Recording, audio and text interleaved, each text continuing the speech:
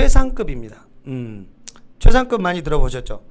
그러니까 어쨌든 우리가 농담으로 얘기하듯이 중국어는 약간 어, 과장의 언어라고도 하잖아요. 아닌가?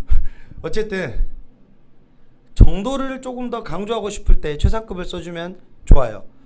그러니까 그냥 뭐 아주 좋아 할 걸 이보다 더 좋을 수는 없다 이렇게 강조를 해주는 거죠. 한 번 정도는 할 수 있습니다. 그쵸? 오늘 날씨 더럽게 춥다 이런 표현 쓰고 싶으면 今天天气很冷 마침표 땡 찍지 마시고 뒤에 뭘 붙여요? 冷的不能再冷了 그렇습니다. 오늘의 꿀팁은 뭐냐? 블라블라 더不能再 블라블라 러 다시 한번 뭐뭐가 什么什么的不能再什么什么了 이보다 더 뭐할 수는 없다라는 뜻이에요. 뭐 비싸다 많이 들어. 贵的不能再贵了.贵的不能再贵了. 싸다 그러면 便宜的不能再便宜了. 이렇게 쓰면 되고요. 아름답다 그러면 美的不能再美了. 이렇게 써 주시면 됩니다.